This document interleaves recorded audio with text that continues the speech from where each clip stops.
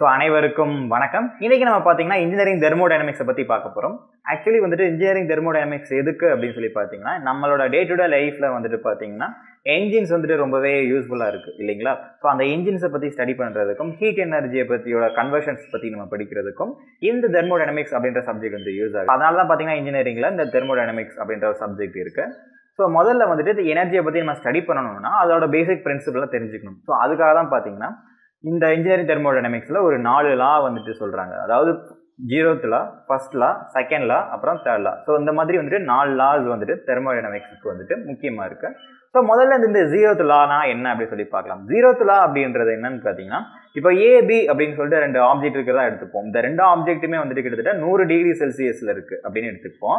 இப்போ வந்துட்டு நம்ம சீன் இன்னொரு ஆப்ஜெக்ட் எடுத்து இந்த ஏபின்ற ஆப்ஜெக்ட்டுக்கு பக்கத்தில் கொண்டு போகிறப்போ இந்த சீன்ற ஆப்ஜெக்ட்டும் பார்த்தீங்கன்னா நூறு டிகிரி செல்சியஸை கொஞ்சம் கொஞ்சமாக ரீச் ஆகிடும் ஸோ இதுக்கு என்ன ஆக்சுவலி பிரின்சிபல் அப்படின்னு சொல்லி கேட்டிங்கன்னா ரெண்டு ஆப்ஜெக்ட் வந்துட்டு தெர்மலி ஈக்குலிபிரியம் அதாவது ஈக்குவலாக என்ன ஒரு டெம்பரேச்சரில் இருந்தது அப்படின்னா நீங்கள் மூணாவது ஒரு ஆப்ஜெக்டை பக்கத்தில் கொண்டு போனாலும் அதுவுமே பார்த்தீங்கன்னா ஈக்குவலான அதாவது ரெண்டு ஆப்ஜெக்ட்டுக்கும் என்ன டெம்பரேச்சர் இருக்கோ அதே டெம்பரேச்சர் வந்துட்டு மூணாவது ஆப்ஜெக்ட்டுக்கும் பரவும் அப்படின்றது தான் வந்துட்டு இந்த ஜீரோ துலா ஸோ இதை யூஸ் பண்ணி தான் பார்த்தீங்கன்னா நம்மளோட பாடி டெம்பரேச்சரை மெஷர் பண்ணுறதுக்கு தெர்மாமீட்டர் அப்படின்ற ஒரு விஷயம் வந்துட்டு இன்வென்ட் பண்ணாங்க.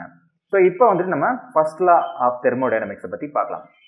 So first law of thermodynamics என்ன சொல்லுதுன்னு பார்த்தீங்கன்னா எனர்ஜி கன்வர்ஷன் வந்துட்டு நம்ம பண்ணுறப்போ ஒரு எனர்ஜியை வந்துட்டு நம்ம ஆக்கவோ அழிக்கவோ முடியாது அப்படின்னு சொல்லி படிச்சிருப்போம். ஸோ அதே விஷயம் தான் ஸோ ஒரு எனர்ஜியை வந்துட்டு நம்ம கிரியேட் பண்ண முடியாது டிஸ்ட்ராய் பண்ண முடியாது. ஆனால் ஒன் ஃபார்ம் ஆஃப் எனர்ஜி வந்துட்டு இன்னொரு ஃபார்ம் ஆஃப் எனர்ஜியாக மாற்ற முடியும். இப்போ எக்ஸாம்பிளுக்கு பார்த்தீங்கன்னா இப்போ ஃபியூலை எடுத்துக்கிட்டு அதை பர்ன் பண்ணி ஹீட் எனர்ஜியை வந்துட்டு நம்ம ஒரு கைனடிக் எனர்ஜி மெக்கானிக்கல் எனர்ஜியாக மாற்ற முடியும். ஸோ இதுதான் வந்துட்டு எங்கே யூஸ் ஆகுதுன்னு பார்த்தீங்கன்னா நம்மளோட என்ஜினோட சிஸ்டத்தில் வந்துட்டு ஒரு ஃபியூலாக இருக்கக்கூடிய ஹீட் எனர்ஜியை வந்துட்டு நம்ம யூஸ் பண்ணி நம்ம வந்துட்டு கைனடிக் எனர்ஜியான மெக்கானிக்கல் எனர்ஜியாக மாற்றுறோம் ஸோ இந்த மாதிரி வந்துட்டு எனர்ஜி கன்வர்ஷன் பண்ணுற இடத்துல ஒரு எனர்ஜி வந்துட்டு இன்னொரு எனர்ஜியாக மாற்றலாம் அப்படின்ற விஷயத்துலையும் இந்த ஃபர்ஸ்ட் லா சொல்லுது.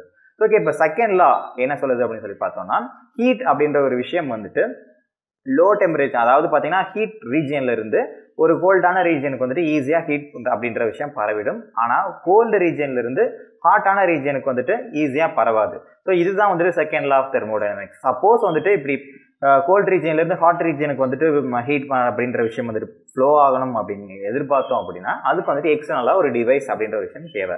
ஸோ அந்த மாதிரி டிவைஸுக்காக தான் நம்ம இப்போ என்ன பண்ணுறோம்னா கம்ப்ரெசர் ஹீட் பம்ப் இந்த மாதிரியான விஷயங்கள்லாம் யூஸ் பண்ணி அதாவது கோல்டு ரீஜன் இப்போ எக்ஸாம்பிளுக்கு பார்த்தீங்கன்னா நம்ம வீட்டில் யூஸ் பண்ணக்கூடிய ஏசி ரெஃப்ரிஜிரேட்டர் இந்த மாதிரி விஷயங்கள்லாம் என்ன ஆகும்னா அதாவது நம்ம ஹீட் ஒரு ரூம் வந்துட்டு ரொம்ப ஹீட்டாக இருக்குது அப்படின்னா ஏசி போட்டுறல இந்த ஏசியில் என்ன இருக்கும்னா நம்ம குளோரோஃப்ளோரோ கார்பன் இருக்கும். இந்த கார்பன் அதோட கம்ப்ரஸர் கனெக்ட் ஆகிருக்கும் ஸோ அந்த குளோரோஃப்ளோரோ கார்பன் வந்துட்டு என்ன ஆகும்னா ஹீட் அப்சர்வ் பண்ணிட்டு தென் கம்ப்ரஸர் ஏரை வந்துட்டு மறுபடியும் இந்த நம்மளோட ரூம்குள்ளே ஃப்ளோ ஆகும். ஸோ இப்படி பார்த்தீங்கன்னா ஹீட்டை எடுத்துட்டு மறுபடியும் இது வந்துட்டு ரொட்டேட் பண்ணி விடுது. ஸோ இதுக்கு எக்ஸாம்பிளாக நம்ம பார்க்கறதுனால தான் வந்துட்டு நம்ம வீட்லேயே வந்துட்டு ஏசியும் ரெஃப்ரிஜிரேட்டரும் யூஸ் பண்ணுறோம் ஸோ தேர்ட் என்ன சொல்லுது அப்படின்னு கேட்டிங்கன்னா எந்த ஒரு ஆப்ஜெக்ட்டுக்கு வந்துட்டு ஃபோர்ஸ் கொடுப்போம். ஸோ ஃபோர்ஸ் கொடுத்தா தான் ஒரு ஆப்ஜெக்ட் வந்து நகரும் அப்படின்னு சொல்லி சொல்லி பார்த்துருப்போம்ல. ஸோ இந்த மாதிரி ஒரு ஆப்ஜெக்ட் வந்துட்டு எப்போதுமே பார்த்தீங்கன்னா ஒரு ஜீரோ கெல்வின் அதாவது மைனஸ் இரநூத்தி எழுபத்தி மூணு டிகிரி செல்சியஸில் நமக்கு வந்துட்டு ஒரு ஆப்ஜெக்ட் இருக்குது அப்படின்னு எடுத்துக்கிட்டோம்னா அந்த ஆப்ஜெக்ட் வந்துட்டு ஒரு ஃப்ரீஸான ஸ்டேட்டில் இருக்கும். அதாவது பார்த்தீங்கன்னா நகரவே நகராது. ஒரு ஃப்ரீஸான ஸ்டேஜில் தான் இருக்கும். ஸோ இதை தான் என்ன பண்ணுறோம்னா அப்சல்யூட் ஜீரோ அப்படின்னு சொல்கிறோம் ஸோ ஒரு ஆப்ஜெக்டோட ஆட்டம் மாலிகுல்ஸ் வந்துட்டு எப்போதுமே வந்துட்டு மூவ்மெண்ட்டில் தான் இருக்கும்.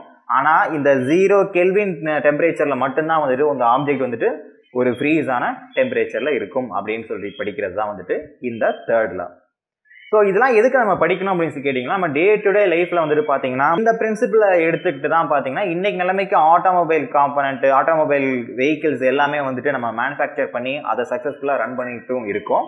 ஸோ அதே மாதிரி பார்த்தீங்கன்னா இப்போ செகண்ட் லா தெர்மோடைனமிக்ஸை எடுத்துக்கிட்டோம் அப்படின்னா அதாவது கோல்டு ரீஜியன்லேருந்து ஹாட் ரீஜியனுக்கு வந்து நம்மளால் போக முடியாது. அப்படி போகணும் அப்படின்னா எக்ஸ்டர்னலாக டிவைஸ் தேவையா? அந்த மாதிரியான டிவைஸ் வந்துட்டு நம்ம இன்வென்ட் பண்ணி தான் நம்ம கம்ப்ரஸர் ஹீட் பம்பெல்லாம் இன்வென்ட் பண்ணி தான் நம்ம வீட்டுக்கு தேவையான ஏசி ரெஃப்ரிஜிரேட்டர்லாம் யூஸ் பண்ணிகிட்டு இருக்கோம். ஸோ இன்றைக்கி நிலைமைக்கு பார்த்தீங்கன்னா நம்மளோட ஒரு காரு பைக்கு இல்லாமையும் ஒரு ஏசி ஃப்ரிட்ஜு இல்லாமையும் எந்த ஒரு த ஒரு தனி மனுஷனால் வாழ முடியாது அப்படின்ற ஒரு சுச்சுவேஷனுக்கு மாறி இருக்கும் அப்படின்னா அதுக்கு வந்துட்டு ஒரு இன்ஜினியரிங் தெர்மோடைனமிக்ஸ் அப்படின்ற சப்ஜெக்ட் வந்துட்டு முக்கியமான பங்கு அப்படின்ற விஷயத்தையும் நாம் தெரிஞ்சுக்கணும்.